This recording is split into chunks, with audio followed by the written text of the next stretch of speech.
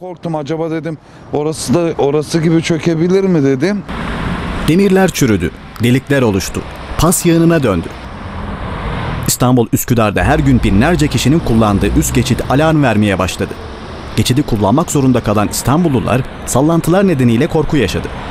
Devamlı bu üst geçiti kullanıyoruz. Karşı tarafa geçip arabaya biniyoruz. Oradan taksiye biniyoruz.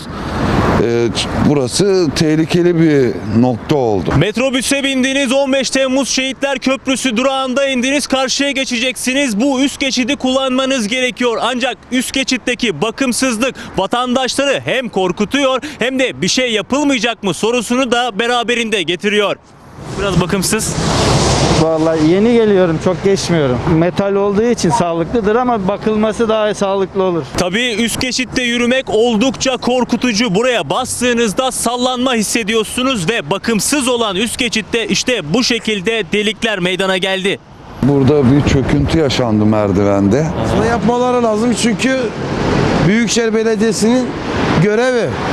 Asıl ürkütücü olansa geçidin taşıyıcı kolonlarındaki yıpranmanın boyutuydu.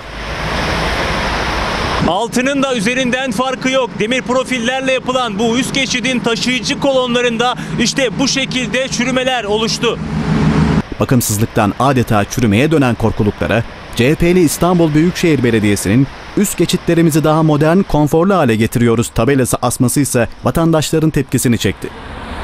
Yapmak zorunda. Adam yapıyor zaten adam. Belediye başkanı Oğlum, olduysa Oğlum adam çalışıyor, adam zorunda. çalışıyor, çalışıyor.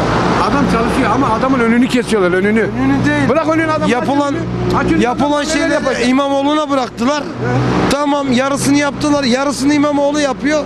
Ne oluyor? Ben yaptım diyor. İki kere açılış olan yeri parkı İmamoğlu açılış yapıyor. Nasıl oluyor? Tamam ama Niye peki? Mağazam yapmıyor da kendi reklamını niye asıyor ya? Yapıyor, yapıyor. Şimdi yakında bunların hepsi yapılacak. Önünü kesiyor diyorsun. İstanbul'a gelen gelir ne kadar biliyor musun? B- Büyükşehir'e. Biliyor musun sen? Mega kentliler her gün binlerce kişinin kullandığı üst geçidin geciken bakımının bir an önce yapılması için CHP'li Büyükşehir Belediyesi'ne çağrıda bulundu.